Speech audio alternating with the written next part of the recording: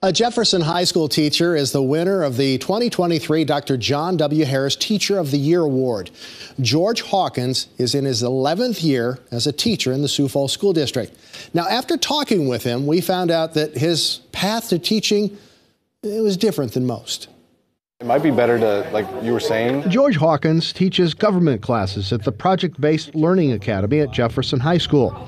Project based learning often involves hands on projects and collaboration. The best part of the job teaching is, is getting to work with the kids, getting to see them grow and, and you know, having their, their light bulb moments or getting to see them like do things at the end of the year that they didn't think they could do at the beginning of the year. So it's just, it's just awesome getting to work with the kids. Today, the students are building monuments to civil rights movements that, when put together, will become a park. The class is called American Experience. Hawkins began teaching in 2012, and his route to teaching is filled with a few twists and turns. I student taught, uh, hated the experience, and realized I was, I was never going to teach a day in my life, so went into law. That's right, Mr. Hawkins was George Hawkins Esquire. So hung out a shingle on my own, and I, I had a lot of abuse and neglect cases, and it was just kind of tough, like grinding out, and just kind of soul sapping, and, and I couldn't imagine myself doing that five, ten years down the road.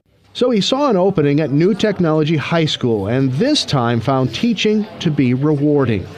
Assistant Principal Dolly Anderson has worked with Hawkins since he started. One of the things that I really appreciate about George is just his ability to relate to students and to take them under his wing, take them wherever they are at, and help them grow. And sometimes they don't even realize what they need, but George sees that.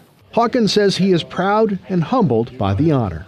In my building, there, there's amazing teachers. In, in my PBL Academy, there's amazing teachers. And so just being nominated is, is, is beyond the moon. So um, I'm fl- floored to kind of be standing here right now to, to have it.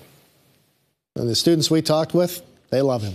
Hawkins worked as a coach, substitute teacher, and debate volunteer prior to his full time employment.